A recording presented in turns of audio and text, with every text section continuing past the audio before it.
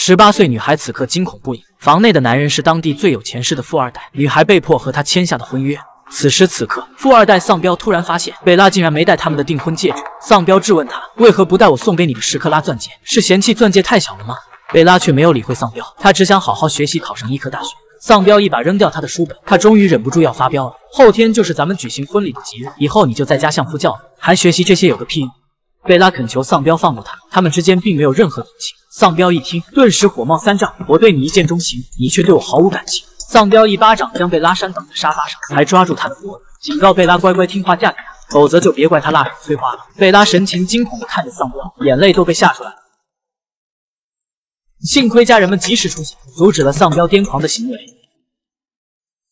母亲警告丧彪，再等两天，贝拉就是你的人了。你必须控制好情绪，没必要在这个节骨眼闹事。为了让贝拉断了读书的念想，丧彪母亲竟然撕烂了他的书，还将他在校时的所有奖状证书都烧了。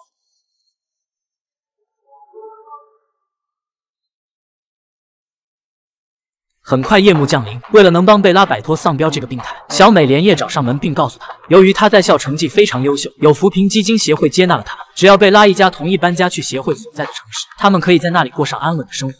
就在这时，贝拉母亲突然出现，经历了白天的事情，她不忍心贝拉嫁给丧彪继续受骗，她刚偷听了两人的对话，也表示同意了小美的搬家建议。第二天一大早，小美就派人来接贝拉一家，但一心想攀上豪门的姐姐翠花却死都不肯跟他们走。竟然就这样跑了出去，小美只好开车去追，而贝拉母亲也不放心翠花，想要去寻找她。就这样一耽搁，却遇上了闻讯赶来的富二代丧彪。此刻的丧彪彻底怒了，直接将贝拉母亲和弟弟关进了屋子，随后直接淋上两大桶汽油。丧心病狂的丧彪要当着贝拉的面将他母亲和弟弟当场烧死。